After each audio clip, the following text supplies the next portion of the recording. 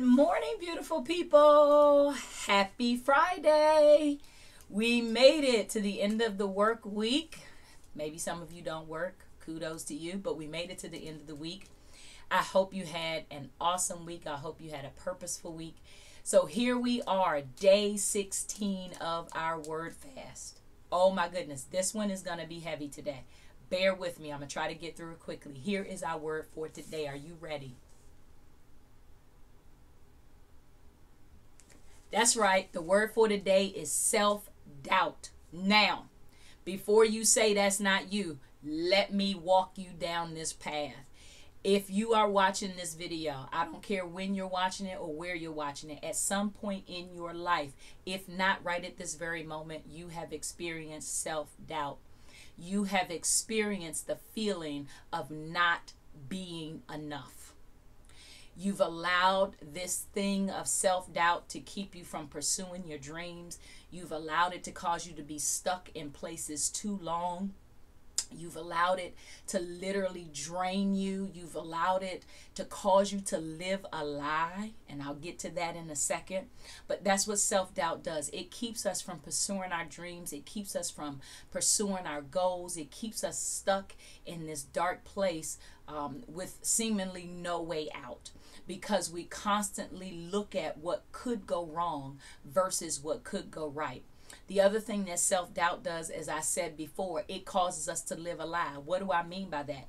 It causes us to pretend to be something that we're not because we're afraid that people won't accept us or people won't embrace our truth. And so we go through life people pleasing or trying to please other people because we're not confident in who we are. And so we we end up um uh what's the word I want to use? I don't know what the word I want to use, but we live a lie. We live a lie instead of walking in our truth. Uh, we spend all of our time coveting or envying what other people have. I always say we look over in their yard and how green their grass is only to find out later that is fake. And we could have just just just as well enjoyed the grass in our own yard. But self-doubt will cause us to think that what I have, who I am is not good enough. I read a quote this morning and it said this.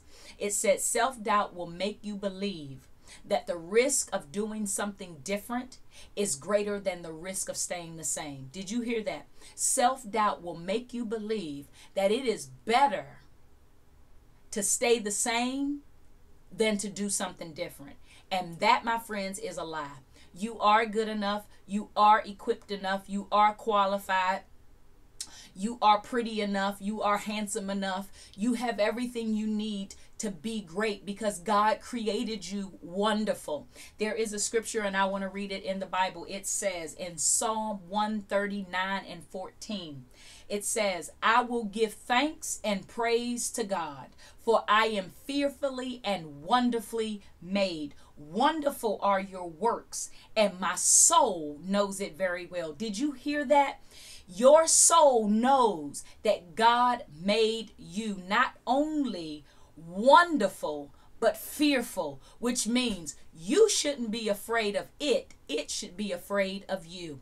You and I are our own worst enemies, and at some point, we have to stop being the source of our own misery. It's not other people, it's me. It's what I think about myself, what I feel about myself, and what I know about myself. So I want you to think about that word self doubt. How has that word kept you from living your best life? Have an amazing Friday, and we will chat tomorrow.